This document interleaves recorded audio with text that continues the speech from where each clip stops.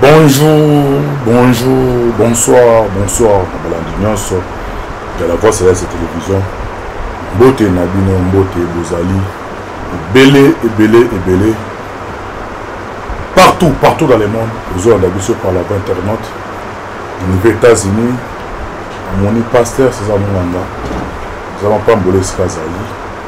toye na europe na suède na mafatu la main des opprimés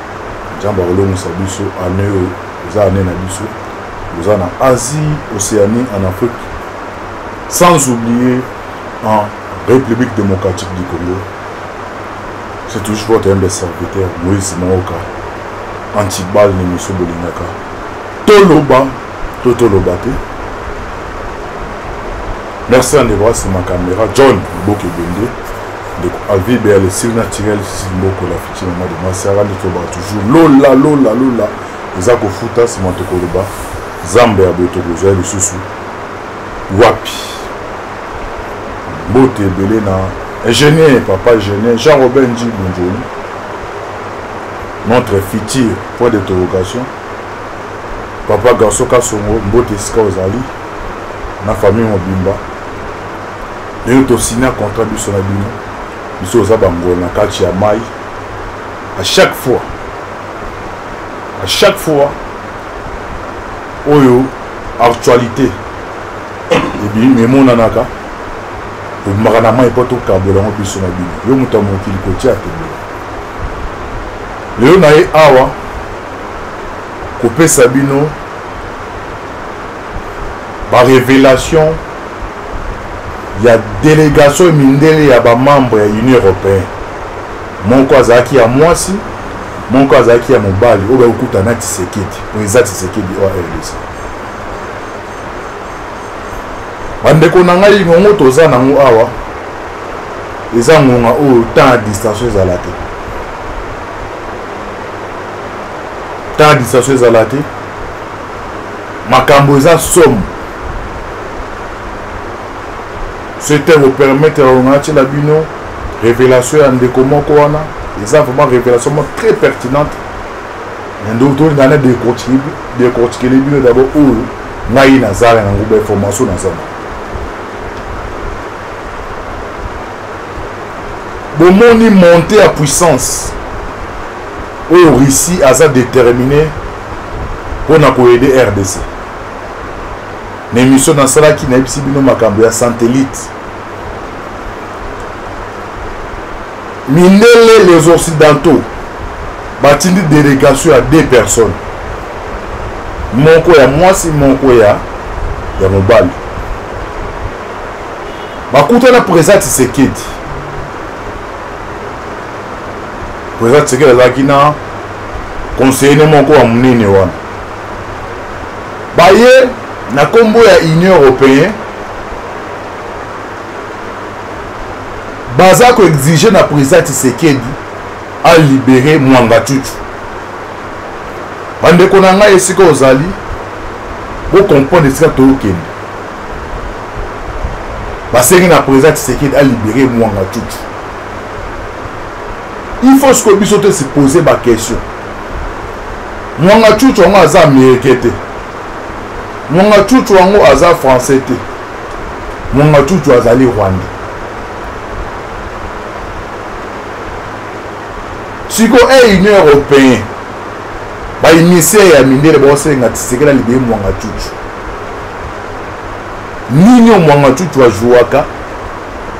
oyo parmi bakaye de charge ya baemissaire wana bazosenga il faut balibere mwana cucu bake mosika babi soki presa libere mwana cucu il faut azongisela ye bakare minene nyonso oyo bakangi na leta bandeko omoni kozala presa ya rdc oyo eza lipa na nguba te yo ofandi esika ofandi bandeko na ngai ndenge koko aloba awa ah, ozomela so nini ozolia na yo wana ofandi oyo batisekedi akosi ah, alobaki ala moinde escaramouche mais oyo eza kose passe adversaire ezaka ya rwanda te boyoka barévélation bandi donc union européen bosengana basengi na fatia libeye mwanga tutu azongisela mwanga tutu baminere ne nyonso epuis soki azongeli mwanga azongiseli mwanga ocutu baminere nyonso bamine wana oyo eza na rdc mpe eza mine ya obaya donc bamine wana il faut ezala sécurise na armée moko nete omoni bandeko na ngai bacongolais jour conscience na biso ekozonga bamindelo baosaka na biso nde basakani na biso boye te To vivant na kati ya mboka oyo. James Kabarebe un Rwandais mais chef d'état major na armée na biso. Mais bandeko mosusu baozwa yango neti maseki. Donc Fatih Union européen mindele omoni bayaki oyo oh, bozomona oyo elekanaka batebisi bango yango wana politiki te napesaka bino baexemple recente ya ya biligi johnson oyo minde oyo ba américain batindaki akuta na mobutu un na voix zaïre wana musée ba rss voix zaïre ezali chikoko chaîne ya zaïre wana ozrt baye batie mikolo bini non toya mpo na coopération mais après bikolo conseiller ya mobutu abike no nde mwangacuta akotaki na kati wana ayebisi mobutu ke non baaméricain batindi nga naye biso ke biso boyi olingi mutu na entraîne na zayi te sima angelo okende mais ere abimi oyo omonaka abimi batemi ere te soko oloba yango wana te oyo bazoi na kati basinfatia libeye mwanga tutu azongisele babie na ye epuis baminere wana esika ezali oyo eza na kati ya rdc na rubai ezala sécurise na armée moko neutre quand on parle de l'armée neutre ozo comprendre donc comme monisco da akei soki monisco azalaki bango basenga basengaka monisco sécurise donc quand on parle de monisco c'est toujours bango bafrance baaméricain siko arme neti oyo bango baza kolobela eza nini rwanda atinda bamilitaire na ye uganda atinda bamilitaire na ye kenya atinda bamilitaire na ye angola atinda bamilitaire na ye bango nde basécurise zone wana alors to raisonne nesi bato lebe ozosenga eloko ya bongo to soki fati soit rdc andimi wana eza nini eza balkanisation eza balkanisation moko ndenge ndeko mwa aloba eza balkanisation mo économique parce que quand 5 armée neutre wana eyewa na kati ya zone wana oyo ezobima eza ni minereti oza sir r rwanda otinda bamilitaire na ye oyo agrese na biso ya bandakala angola atindi bamilitaire na ye kenya tindi baminere babima boye à l'occasion de rien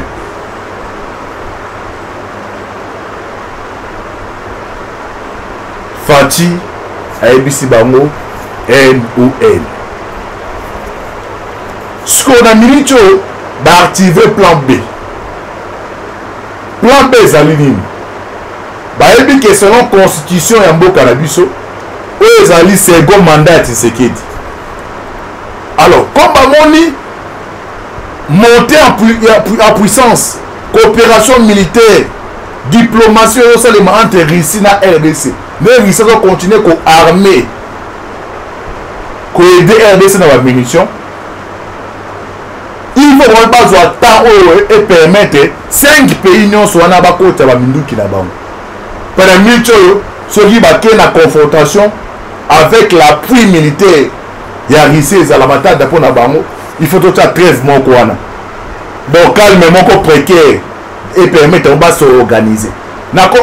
nakosoorganize wana bayebi ke non 5 eumelaka te mpe mundele akoyosa elo plan ya 10 ans 15 ans biso nde tomona yango mosika non botika ya reni omona mobutu abeti 32 ans bayebeke na moatel toove esika te soko na kaki na boyeke no miti oyo tisekedi aza na légitimité ya peuple congolais c'est lui qui engage la république oyo eza second mandat na ye comme makambo toyosengo aboya kosalela yango il faut toluka tokota sikoyo ndoki akotaka travers ka membre ya famille eh. na kanda mama ozwi lipapa soit ndieta kombo obambi mwana mwana mwasi soit aboya kotuta pondu le temps porte ezali ouvert oyo mwana na kimi ofingi ye paza ebembe no batuta ta soki bakotuta yo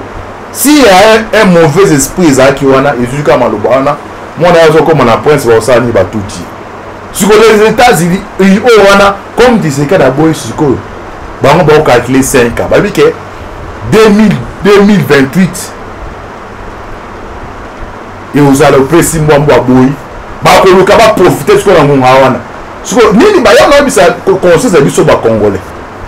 si ça dépendait que de moi soki ozosenga mpo na kimia ata tisekeli atya fayu na gouvernement soki ozosenga mpo na kimia la elor beengage ngai ye ndenge mabete soki ozosenga mpo na kimia amweke oyo baza batrahi mais oyo atrahi te so aza meme na prison soki esenga mpo na kimia babimisa bango mpe nini bango baosala basengi balibere mwanga tutu basengi zone wana rubero esika baminere ezali ezala contrôlé par 5 pays net Fatshi aboyi siko botala 5 ans na 2028 ekozwa opesi mwa oboyi na ngonga wana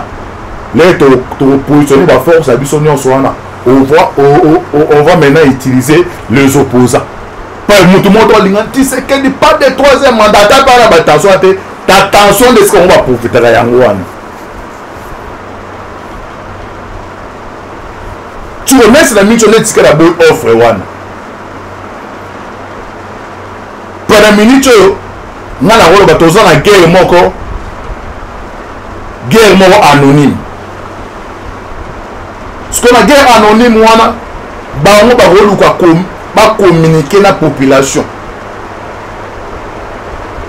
mpo na kodestabilize rdc mpo na kodestabilize par exemple tisekedi bakoetize nani bajournaliste ba opposant siko na makambo eza awa niveau makambo ekomeli il faut président tisekedi atya oyo abengi dictature moko positive parce que eri azoboya konegocie eza mpona mpona tisekedi te mais azoboya pour le peuple congolais parce que na kati ya négociation wana ya balobake non libeye mwanga cucu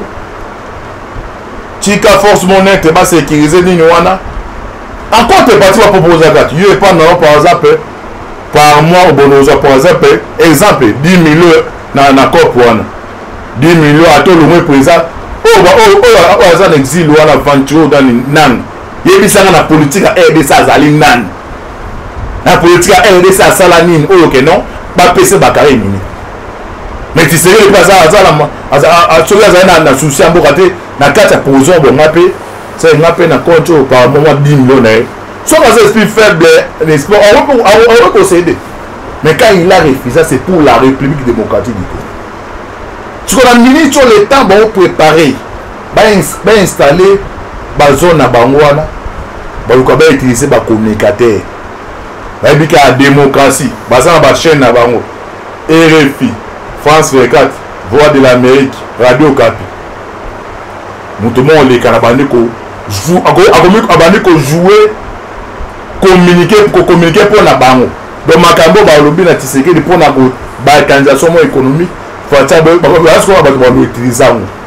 soso mpe tisekedi atikaki ake non bon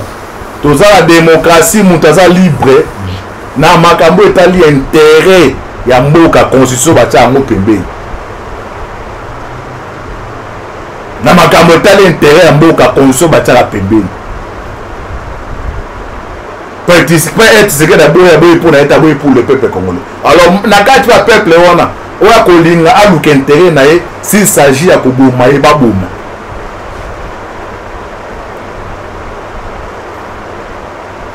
yango ozomona nga na bapropose barevise constitution wana bakotya balwa mosusu obengami politicien obengami politicien te obengami soda soki bakangi ozotrahi rdc il faut pande so yango eh, eh, bandeko eh, oh, boyoka makambo il faut barevise constitution ezala te makambo oyo ya 3 sedakoma 3 mandat baya batika misusu batia mpo na moto azonga ni moto mpo ya moto azonga moto bayebi baye mpenza ko avant aboma yo bafungoli ka konso totunaka article 64 ka e do bo yo ndenge oza boye emeloko tokobomela yo article par exemple ça aide pam pam pam la constitution rdc révisée les le 2 février passé mpe 2026 mpe 2027 soit 2024 tout congolais politique apolitique officier celui qui va trahir la nation azo mérite pendaison donc batangi oyo mpenza article eza na constitution babomi yo baoyo batikali amwaki eza eloko mosusu baoyo batikali amwaki eza eloko mosusu mpo baboma so te koma no antuka doa belome na mitia na okota te bazala duku mwana bakore dino nde basalaka bafungoli kaka artike tetel yo bakangaki yo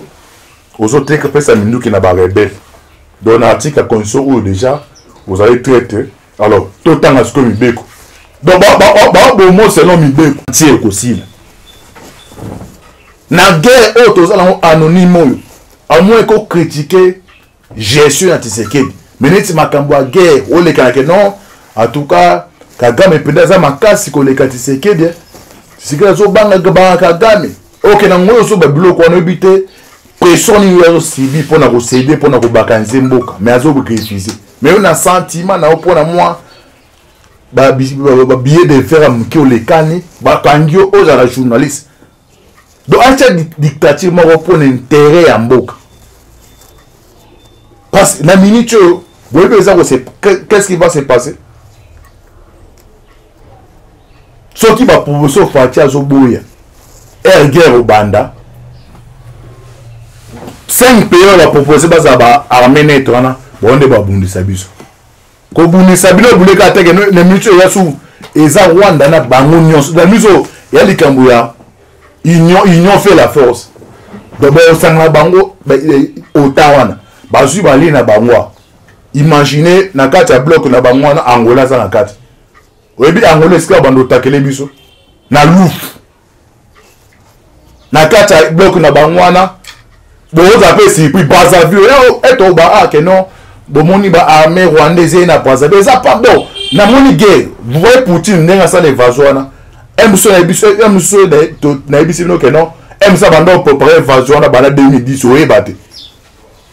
Eh, mc ozwi 15 a 20 ans yo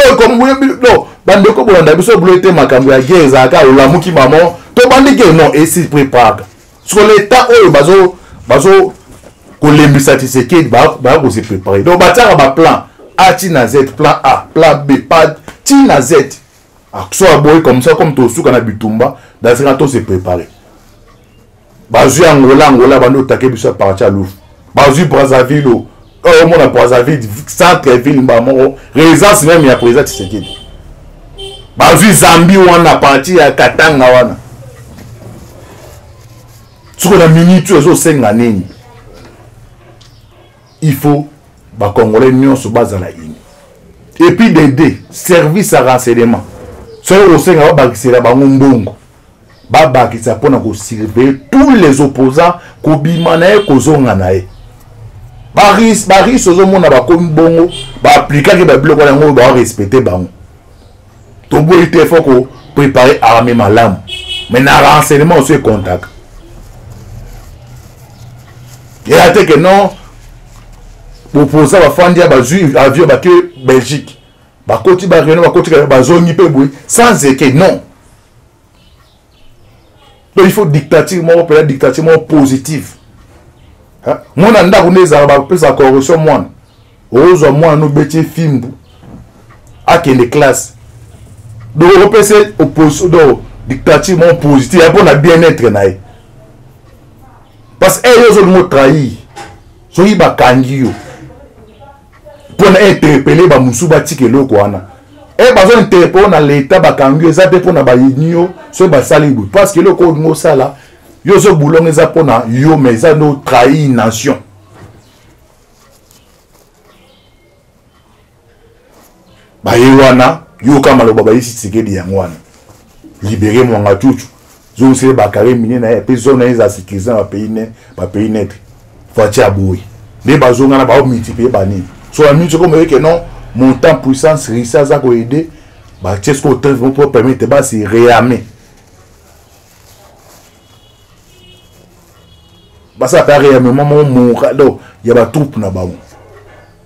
soki esenga na biso il faut tobanda ko se prépare toyeba nini faye tosala na congolais nyonso esika azali baréduire vie ya bainstitution baréduire oyo bodepute bon tokende mpo na bato mosusu bolanda bazala ya kosilika te batie bino ata 5000 dollars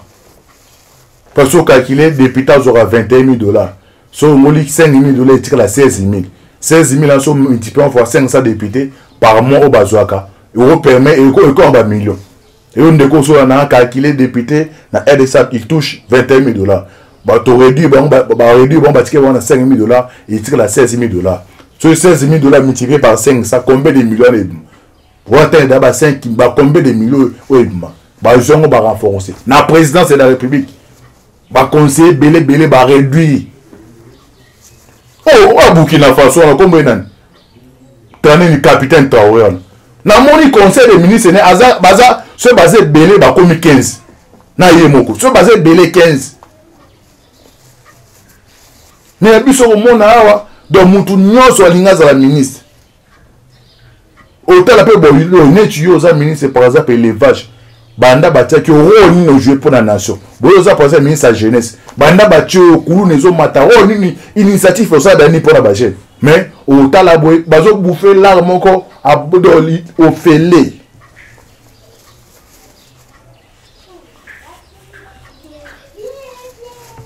parce que soki tosali maseki oyo eza ko se préparer pafati aboye yango mais na mitu bakontacte nakaki na babike non bon bondima compte tenu ya bange de l'air bondima azala deuxième mandat mais troisième mandat ozwa te mais sikoyo moto olinga toprépare moto tokoremplace ya troisième mandat bon yo totya yo tozala souteni na biso mais na condition que non moni heure oya ese ondima kosala makambo oyo azopoza oyo aza patriote te neti balatumbi baza banation du te aoraisonne ku te botia na kopesa mpo bande oprepare pendant 5 ans les amis tso nde tika boyi boye omona te ba s'afficher bayebi ke ensuite o s'afficher etimbela ke no ah bakongoli so baye ke no oke ti bamindele baosenga mwanga cucu aseki asala boye batiki sikoyo boyaka na 2028 ba question de troisième mandat koo tisekedi eye mpenza mobulu eh, c'est maintenant lelo nde il faut banda ko se préparer ngongo oyo ozowelela ozala ministre yo ozowela ozala dg mais oyo eza kose passe na est bandeko donc eza à part rwanda eza bango baza mpena union fait la force siko eloko oyo eye kobebisa makambo afrique du sud Cyril Ramaphosa eya eh, yesu sikoyo atali ti oh, na kati eloko oyo me ngai intere na ngai eza te ah, tisekedi ngai mpe naomemela oyo troupe mosusu siko ye afrique du sud air aye olai aye moko aye na brics oyebi bapays brics aye na bango donc na miti oyo situation ekomi neti ukraine na miti oyo biso rdc tokomi neti ukraine ukraine akoti na otan otan sikoyo boya osoutenir ukraine nde mpe biso na miti oyo afrique du sud yoka sekiri ya mafoza aye na brics na kati ya brics wana moto akamba yango se la resi tous les pays oyo bazala na kati ya brics wana boya nsima rdc yango moi sikoyo les états les américains baza puissant mais comme basinstalle bien te baplanifie bien te adesekala na minute oyo soki bitumba ebandi nous risquerons de perdre atotya moi elomo mpo na kimia nde baye no kimia ko siko biso donc biso sikoyo fo toyebake no kimia oyo ozomona oyo malgré toseplake no avancée diplomatique avancée diploma avancée diplomatique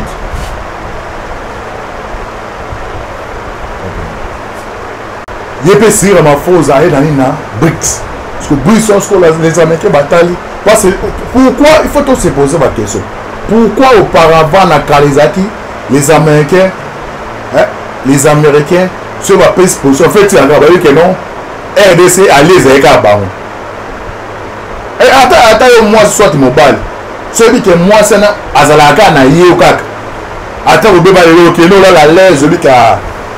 toyokaka tozalanga me jour otimbelake non mwasi yango bokabone lelo bobetaka ba une semaine aozongelaka mpo ozala naye moisiko ya tour oyo akei lobo bomoni moto masano moto ayebisi ah yaya tomoni petino melo bazali na jomo wena ya kare yo so oza vaincu to ozwa vertige ota siko ah, seke azoyi ngai nani adver siko oyo eza kose passe yango oyo auparavant ezalaka ya cher toimpose lwa na biso mais cette fois-ci sikoyo bale ya sika baye mpe baye na rapidité moko ndenge bakuyakuya idps nde orisa ye na rapidité aye yango wana omona bado titala mirisa azoproposa dote rdc santelitu wana oyo esedepasaka na orbite bo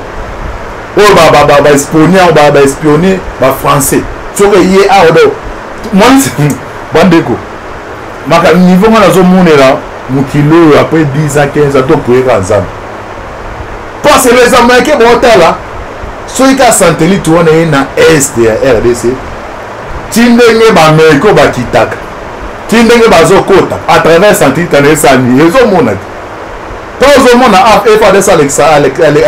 alakisaka eza bamoye moko mpa ma efo perso mais avec satellite wana ya ris wana so ebati yango na est ya rdc tous les voleurs oyo ayaka une heure oyo ayaka deux heures tous les baarme ndenge ekitaka tous les bakapa bakije ya baarme ezalaka forme par ba militaire ya libanda te boye babaza no ah, do général américain baza na paye satellite a incapacité ya kolocalize kige par exemple kige ya rdf ya rwanda tous les vases vase et vient entrée sorti tout nyonso oyo baomona na satellite qu'est-ce qui va se passer lelo na kosenga na biso bacongolais soki bocomprendre niveau makambo eza na ndenge ezali sikoyo bandeko epuis dede ndeko ndeko moko apropose abi tisekedi président tisekedi soit la république mpo otunaka bino bokomosenga la république mpe areconnaitre biso na bakoko parce que imagine eloko biloko na betio quand oyoka journal journal joueur oyo avita wana alobani bazobenga nga tia babi ke toza tia tolukisa yo quand on fait les émissions pareil na nde naza na ndako na nga oyo esika nafandaka la poli polisi aza te yokasi bato wana rezo wana eza molai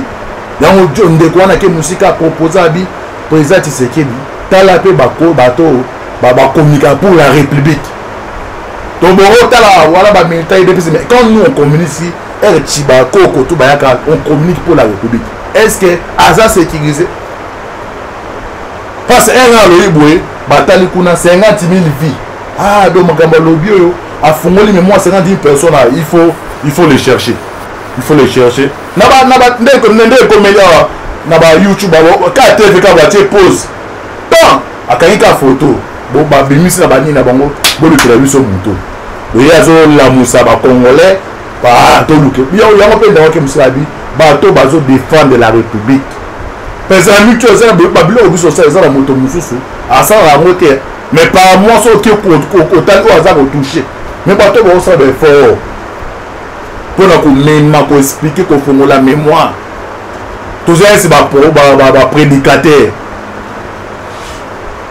Même ba prédicateurs ba prêcha la parole de Dieu ba za récompensé. Quand on risque nos vies là. Et bien là balance ba ko ta ba le bon mon gars vie na ba mo ma comme vie ba. A trop dans TikTok. Ngai na za bo na za mais nous on parle pour la République. Ata récompense à mon qui est aux alaté. Apa biso ka te ya ba ndeko musu na ba chez musu osati ba ofungola batu pour na ko informer. peuple congolais tolamuka merci na baoyo mwa batanta koede biso moke peut-être okoma awa ah, eya bazone mosusu oyo toko nesi nga nakokoma te moko atuna ncibal me ndenge nini oza na kinshasa ya bazone mosusu nga nesi nga nakokoma te ya bazone mosusu nakokomata transport te ya dcsete peut-être moto ariskaka nde nani koko napekisaka ye mpe mai osala niso esiko bamoyen eza te ya bariske mosusu oyo okosala te parce que genre là baza awa baza na bato mpe bacongolais e eh, topesa barévélation c'est pour la république na contre parti nous tokogani quoi mais toza te mpo na togane mais ezaka interpellation nde ndeko na bi aloba to bazosiskalite pour la république nini yo en contre parti boaza kozwa mais comme toza po oblige tokolemba te on va toujours continuer donc toyaki kopesa barévélation oyo oyeba bomonaki des émissaire balakisaki na mwa etmc yo moto otalaka memamabembe aza koloba me e mundele abimaki alobaki bongo te yo ozomona politiki eh? omona politiki eza maseki eloko ya maseki awa ah, okota nayebi sikoyo kokoko nene batindeba na ye awa nayebisi nga ti 18 heure fo abare yo so ya mwa oluka tokimi soit tozongi oloba boye mpo aboma yo te ena eh, bimika wana mome ya cibal tomoni oyo otala koko ciba ah tende na ye awa en tout cas koko ciba na ye mpo na coopération na ye fo tocoopere na ye mpenza na nsima koko ciba koko nsima ya nsima na opesa message tosengi mpe na nini ah oyo oh, yo soyo otala mangwa na lobi yo ondimi oyo nga alobi mpo na media me oyo nayebi sikoyo kotiba na kati ya ndako yango wana nde politiki baosenga na projet tisekedi la première première de chose nza babatela yo vo ozwi ya kobule te keno eza yo moko biso bakongole toza nsima na yango nzambe alolo tokuyaka mpe aza nsima na yango amoyeke na kosenga mpe na bandeko bazo comprendre te opposition oyo eza makambo ya opposition te eza makambo ya république la res publique eza makambo ya république biso tozala même moral ndenge kaka topesaki ye bavoi wana nde peuple congolais apesa ye bavoi wana nde mpe kaka peuple congolais 73 pourcent se mpe kaka 73 pourcent wana base mettre derrière voi oyo azwi motu moko to kotikala kolonga akotika kolonga biso motu moko to kotikala kolonga biso yango nayaki ya na lombangu nayaki message oyo nakopesa ngo nalata chemise oyo avese asigne ya message moko mpenza oyo eza déterminé nayebi ke baservice baolanda biso baservice baolanda biso tomonaka oka o oh, bato bacommunikaka mpo la pourtant on parle de la présence de la république c'est la, la nation mais omona bayembi bato mwa boye bozwaka mwa mbongo oyo aza charge par exemple ya, ya communication ya président de la république mais quand makambo biso ozosala oyo oh, na bakoko nomu otala bato yango il ne fait rien ce sont des bajalelo mo a ah, biso tondimi kozala jalelo ya république démocratique du congo soki bozo reconnaitre quand même oza na balandaka ota penda boye okutana jeep mo boye filme boye bokutani boye aza ponekokoni na pr pampo ayebi so bo mo ba nalanda comme e olandaka ese okomi okomisa opa chef de l'état a compte parti bariske tozwa ogani kua yo moka moto ba nalandaka bino bozwa ko moke non luka mpenza 10 personnes oyo bacommuniquer pour la république noko ozwi mwana kasi na yo si vous voyez le congo mais biso tokolemba te tokolemba te un jour kaka kaka bakoba to bakufa oyo tolobaka mpo na bango nzambe oyo topuyaka akoya na koede biso encore merci na eugene jean robin dibu notre futur point point point point papa gaso kasongo mama fatou na swede pasteur césar munganga to continuer mpo na mpo na république bozala bosabone massivement bo aime soki mpo omoni ke yonto nalobi mabe olimbisa ngai mais eza kaka toza wana bangolo na kati ya mai toyaki kopartage moki oyo toza nango tokontinue koprie makasi oyo baza basala ya nzela bokonde koprie toza si tokokani bitungo mpe tokolongono mapinga na biso tous les officiers sika bazali baza na front tous les basoda oyo baza na front nde koko kaka alobaka ere eh, ozwi monduki na bokokende front babele toza na poto toka eoluka esika mabele ezali mabele eza pato ozwi kaka zelu wana olati kaka ndenge koko ayebisaka bino ere eh, osimi monduki wana eza na baange oyo ya nzambe na cause oyo defendre eza eza juste enemba onomona yo bamona yo mombo bamono 10